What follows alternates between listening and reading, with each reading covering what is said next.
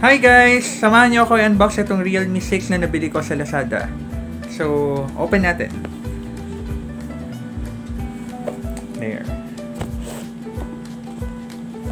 So, pagka open mo, yung naman niya. Oops. Dito yung free na case. Manual. And then, ito. Cellphone. So, binili ko is yung Comet White na color. Tapos, uh, charger niya. And yung wire. Ito. Yun. So, yun lang guys. Unbox natin, no? Yan.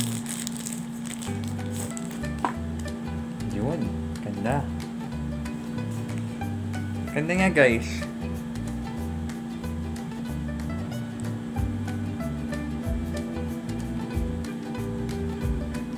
So, yan na muna. Mamaya review natin, ha?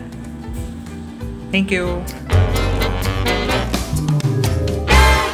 So, ito na nga guys, na-setup na natin tong unit, no? So, ito. Ano siya? Anyway, uh, itong variant na nabili ko is 8GB, tapos 128GB. And then, makikita nyo naman yung 90Hz display. Yan siya. Bilis naman.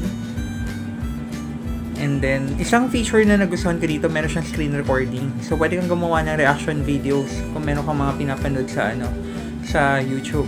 So, all you have to do is, ano, scroll, scroll down mo ito, and then makita mo dyan, meron dyan screen recording. Ito, this one. Screen recording. Pag click mo screen recording, automatic may lalabas na siya dyan. Pag kinik mo yung record, you know, makikita mo yung sarili mo dun sa camera and then you can make reaction videos dun sa, kunyari, YouTube, naka-open yung YouTube. Ayan. You can do reaction videos. Kita ba? Ayan o, oh, oh. Diba? So, dito ka mag-ano. Ayan. So, yun. Ito yung sa mga, isa sa mga features na nagustuhan ko dito sa Realme 6. And then, secondly, yung camera niya, malinaw. Yan. Ito naman. Ah, subukan ko mag-share ng mga pictures na kuha ko ha, for the selfie and then yung back camera. Kasi yung back camera is 64 megapixels. Uh, so, yun guys. So far, sulit naman kasi nakuha ko lang to for 11,290 after yung mga vouchers na nagamit ko. Tsaka yung sa discount dun sa credit card na ginamit ko. Uh, sulit na siya for 8 gig and 128 gig. Tapos 11,290 lang. So, abang-abang kayo na sale guys. Yun lang. Thank you for watching. Realme 6. White.